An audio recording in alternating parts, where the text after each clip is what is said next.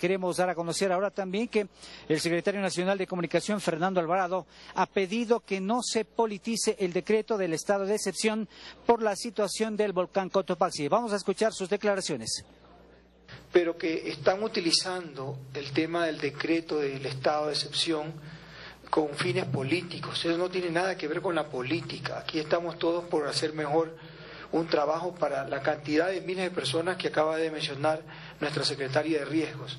El único, lo único que busca ese decreto es proteger a la población y utilizar los recursos que sean necesarios para esa protección. Por favor, no darle paso, ni pantalla, ni micrófonos, ni espacios en sus páginas web o medios impresos a personas que tienen total desconsideración con lo que significa una tragedia, pero que están utilizando... El secretario nacional de Comunicación, Fernando Alvarado. Esa es la información desde el Centro Histórico de Quito. Una tarde bastante agradable en la capital de la República. Compañeras, continúan con más información. Adelante.